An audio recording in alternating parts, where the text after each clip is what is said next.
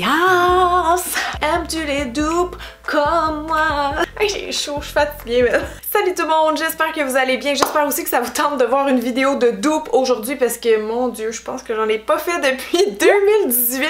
Ça a pas de bon sens. Pourtant, c'est une série que je veux continuer. Là, on s'entend, j'adore ça. Je pense que vous aimez ça aussi. Économiser si vous êtes là. C'est juste qu'honnêtement, je regarde pas d'autres vidéos de dupe pour m'inspirer. Donc, c'est vraiment juste quand je fais des découvertes dans ma collection de maquillage. Et donc, ça peut être long des fois avant que je vous trouve 10 produits, là, 5 chers, 5 pas chers, qui fit bien selon moi. Donc, aujourd'hui pour vous, j'ai 3 produits teints à vous présenter ainsi que 2 produits lèvres pense qu'on va commencer tout de suite avec le teint. Ma première découverte est assez exceptionnelle en termes de différence de prix. En fait, il s'agit de la base Wonder Glow de Charlotte Tilbury. Je sais pas si vous la connaissez, je l'ai déjà présentée sur ma chaîne. C'est pas personnellement une de mes bases préférées parce que je trouve justement le prix très cher pour ce qu'elle fait. Là, en passant, ça c'est le petit format. Je l'ai déjà eu en plus gros, mais je l'avais, je pense, donné dans un concours. Donc là, j'ai juste le petit, mais on s'en fout. Dites-vous simplement que la version régulière de ce produit-là, le gros format qui est à peu près 50 ml, il est 69 Donc c'est une base qui est quand même assez pricey et c'est ça pourtant je trouve qu'elle fait pas grand chose au sens où c'est un produit qui se veut juste comme un peu lissant, hydratant et euh, lumineux sur la peau.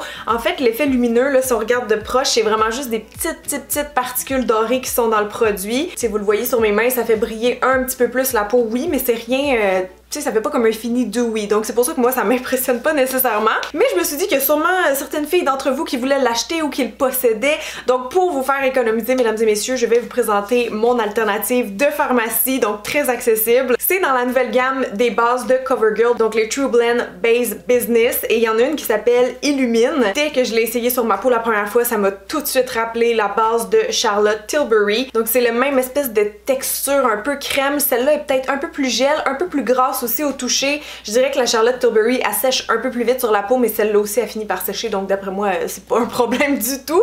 C'est juste que celle-là, ouais, est un petit peu plus grasse. Puis je trouve aussi qu'elle fait un effet légèrement plus lumineux que celle de Charlotte. Vous me direz avec les swatchs dans mon visage si vous le remarquez vous aussi, mais c'est la même affaire. C'est des petites particules dorées, c'est la même couleur, le même côté un petit peu hydratant. Ça aussi, on peut le porter seul ou en dessous du maquillage, évidemment. Et euh, ouais, c'est une très bonne base de pharmacie si vous cherchez cet effet-là. Donc peut-être que si c'est votre première fois, votre premier test avec ce genre de base-là un peu illuminatrice avec les petites particules dorées, moi je vous conseillerais fortement de commencer par tester celle de CoverGirl parce qu'au lieu d'être 69$ comme la base de Charlotte Tilbury, elle est seulement 12$.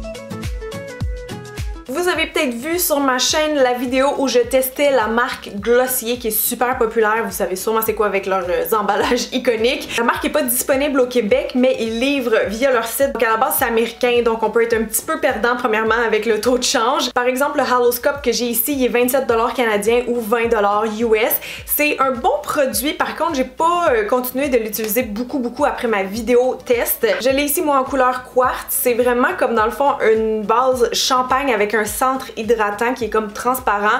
Donc ça fait, un effet vraiment juste nacré comme ça sur la peau. C'est pas un produit qui m'a transcendé honnêtement là, tu il est bien, mais c'est quand même juste une espèce de stick aux propriétés un petit peu nourrissantes pour la peau qui fait vraiment réfléchir la lumière. Je veux dire, l'effet est joli, mais en réalité, si j'allais revoir ma vidéo, je suis pas mal sûre que je disais que la tenue était pas excellente. C'est certain parce que c'est pas un genre de produit qui sèche. C'est très éditorial, je trouve, Glossier, donc c'est pas tout qui m'avait impressionné. C'est vraiment pas tous les produits que j'ai continué d'utiliser. Mais comme c'est une marque qui est super populaire, je me suis dit, tiens, on va l'inclure dans la vidéo parce que c'est sûr qu'il y a des gens qui vont acheter ce produit-là à un moment donné.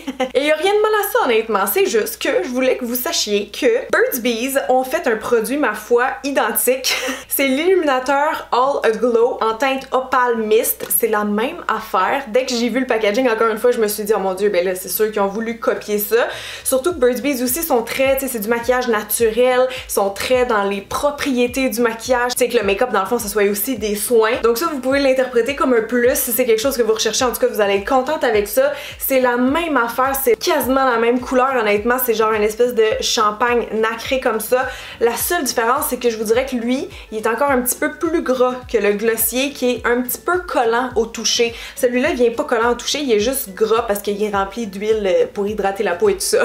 Donc lui aussi c'est sûr qu'il aura pas une tenue exceptionnelle, mais encore là si c'est juste pour avoir un effet, sais, le temps d'une photo ou porter genre en no make-up look, je pense que vous allez l'aimer autant que l'autre. La différence de prix pour ces deux produits-là est pas incroyable, mais il y a quand même un des deux qui est plus cher, évidemment, c'est le Glossier qui est 27$, comme je disais tantôt, 27$ canadiens. Le Burt's Bees était un peu plus cher que j'aurais pensé, il est quand même 19$ euh, ici dans les pharmacies. Mais si vous calculez ça avec le shipping, c'est sûr que ça vous revient pas mal plus cher au final. Et je considère donc que ce produit-là, c'est un dupe pour celui-là.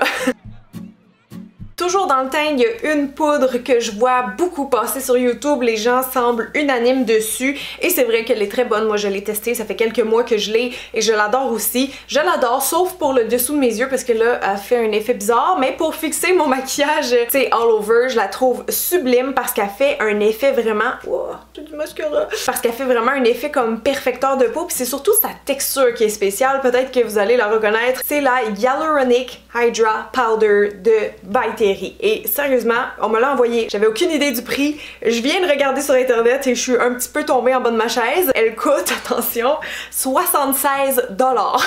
C'est tellement cher, honnêtement, je m'achèterais pas ça. Mais je l'ai, je vous dis qu'elle est bonne. Je sais que beaucoup de gens l'ont aussi ou veulent l'acheter, mais là, attention parce que j'ai une alternative. En fait, quand j'ai testé cette poudre-là de L'Oréal, j'ai tout de suite fait le lien parce que les textures sont vraiment très similaires et je veux vous parler de la Infaillible Pro Sweep and Lock. C'est une poudre fixante translucide. Et qu'est-ce qu'elle a de différente des autres? En fait, c'est ça, c'est tout simplement que la poudre est ultra ultra fine. Donc quand on le met sur la peau, on le sent, c'est un peu comme, euh, j'allais dire de la fécule de maïs. Non, c'est pas ça. En tout cas, il y a quelque chose en cuisine que cette texture-là, c'est la même affaire. La baille je vous avoue qu'elle est légèrement plus légère, mais comme une fois sur la peau, l'effet est tellement similaire que je trouve qu'on serait fou de payer 70$ euh, et plus pour un effet tellement comparable au final. Les deux, ils font vraiment le même espèce de fini super lisse, estompeur, matifiant sur la peau. C'est deux très bonnes poudres pour ça. Genre, honnêtement, vous allez le voir dans mon front, je pense qu'il n'y a pas de différence, mais c'est des super bonnes poudres qui estompent la surface de la peau. Sont vraiment merveilleuses les deux, honnêtement. c'est vraiment juste que celle-ci est moulue comme plus finement. Elle a peut-être aussi des propriétés hydratantes ok, mais moi perso, c'est pas vraiment ce que je recherche en premier dans une poudre, mettons. Donc, je trouve que celle-là, pour le prix, elle vaut vraiment la peine parce qu'au lieu de payer 76$ pour la Hyaluronic Hydra Powder, vous pouvez payer seulement 15$ pour la poudre infaillible de L'Oréal qui fait en masse la job selon moi.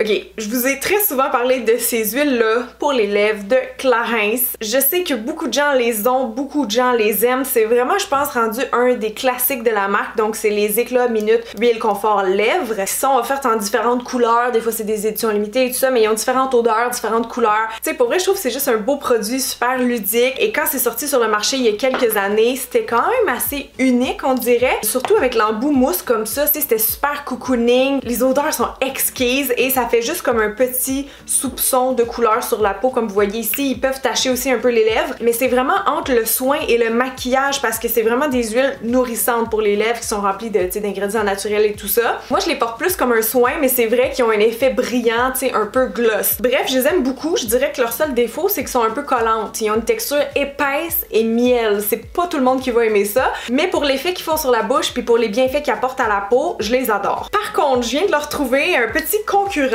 en pharmacie, ça vient juste de sortir et c'est encore de la marque CoverGirl. Ils ont sorti une gamme vegan. En fait, ces CoverGirl sont rendus cruelty free, mais là ils ont fait une gamme végétalienne qui s'appelle en fait Clean Fresh et ils ont sorti 6 teintes, 6 couleurs. J'en ai seulement 3 ici pour l'instant, mais tu sais, je pense que vous allez comme faire le lien assez facilement quand même. Je les ai vraiment beaucoup aimés. Pour le prix, le petit prix qu'ils ont, c'est vraiment difficile à battre. Au sens aussi qu'il n'y a pas encore beaucoup ce type de produit là en pharmacie. Ça commence à sortir, on dirait que c'était comme la mode là, ce printemps euh, qui s'en vient. Puis c'est ça, ça m'a fait vraiment penser aux huiles de Clarins à cause qu'ils sont teintées. C'est des huiles, puis ils sentent bon. Ils ont vraiment plusieurs points en commun. La différence, c'est la texture. Je dirais que ça, c'est vraiment plus comme typique huile. Tu le sens, c'est des huiles végétales, tu le sens quand tu l'appliques sur tes lèvres. T'as pas l'effet collant de Clarins. C'est sûr qu'ils vont tenir peut-être un petit peu moins longtemps, mais en général, je dirais qu'ils tiennent à peu près une heure sur mes lèvres. Clarins, ils durent pas nécessairement 6 heures non plus, tu sais. Fait que je trouvais ça vraiment comparable. Sérieusement, j'aime juste vraiment trop l'odeur. Ça sent les fruits, ça sent bon, t'as le goût des manger.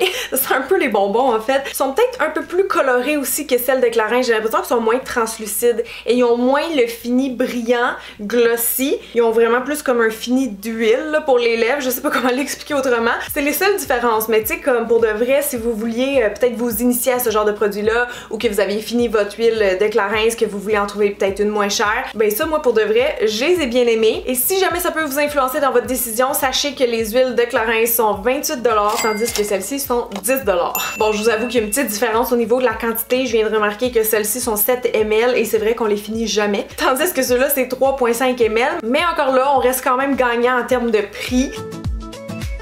Finalement, le dernier dupe que je veux vous présenter, c'est un produit euh, qui est un bon remplaçant selon moi pour les rouges Génération G de Glossier. Encore une fois, ça donne juste de même là, que j'ai des marques qui se répètent, excusez. Encore là, je l'avais acheté pour le tester dans ma vidéo euh, test Glossier. Donc j'ai juste une couleur et c'est la couleur Léo. C'est une espèce de brun rouge que pour vrai, je trouvais ça vraiment cool. La couleur sur le site, finalement, je trouve que ça me va pas pas tout. Fait que je le porte pas, malheureusement. Mais j'avais aimé ça le tester puis j'avais trouvé ça super spécial parce que c'est comme un baume teinté mais mat, puis ça existait comme pas vraiment dans ma tête. Donc euh, oui, je, trouvais que c'était un bon produit. L'effet sur les lèvres est vraiment cool parce que moi j'aime ça, la, transparence un peu d'un baume teinté, mais là j'avais pas l'effet brillant, donc ça peut faire super naturel puis super edgy en même temps. Donc ouais, il me semble que je l'avais bien aimé et cet hiver j'ai assisté au lancement de nouveaux produits de Birds Bees et oui, une autre marque qui se répète dans la vidéo, je m'excuse, c'est vraiment juste un addon, mais je trouve qu'ils ont réussi leur coup avec ce produit-là qui est les matte sticks. Ça vient de sortir, c'est les bâtonnets en français, je trouve ça dégueulasse comme nom.